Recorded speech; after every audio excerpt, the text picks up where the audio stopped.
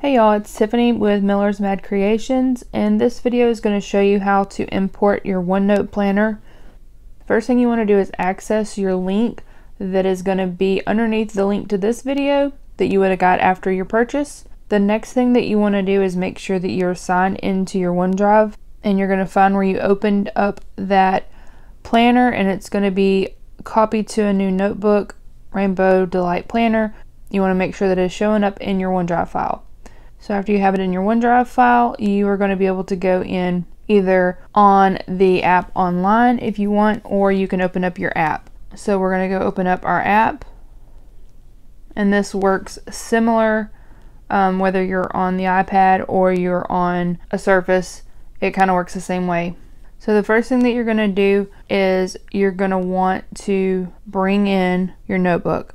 So we're going to hit more notebooks and you're going to see that your copy of your planner is going to be right here. So we're going to click on it and it is going to open up the notebook.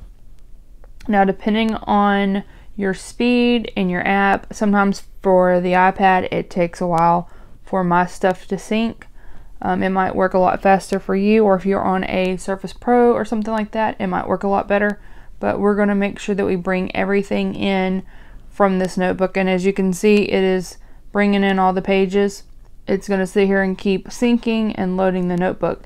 And if you notice at the top you will see it says that this notebook is read only. And that is because you're actually going to make a copy of this. That way that you can use it and be able to mark it up and do whatever you need to do with it. If you look up here at the top right you'll see the little dial going and it means that it's syncing. So you want to make sure that you sit there and let it do that. Again it could take a few minutes or it could take a couple hours. It just kind of depends. Um, this seems to be moving pretty good right now. So you want to click on the actual section the notebook over here on the left. Recent notes kind of has it all out of order. So make sure that you're actually clicking on the actual planner.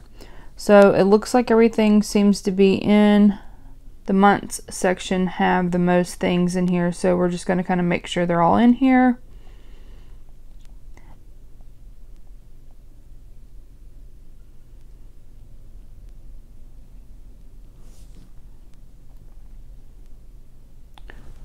So it's going to take a little bit of time for it to load and once it does, you're going to come over here to the bottom left corner and you're going to tap on new notebook and you're going to name it whatever you want to.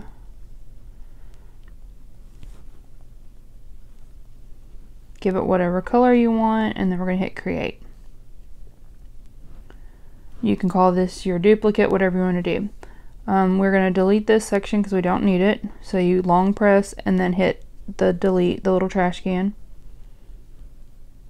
And then now you will see that I have new notebook and then my original.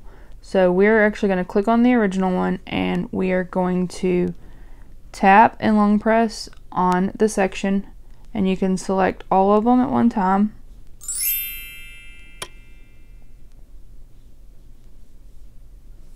And then we're going to hit this little um, icon down here and we're going to copy.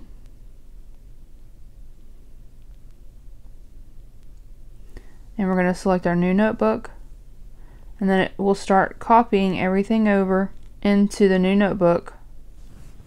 So again, if you look up at the top right, you'll see that it is syncing. Give it a little bit of time to do that. Okay, as you can see, we have a few sections already copied.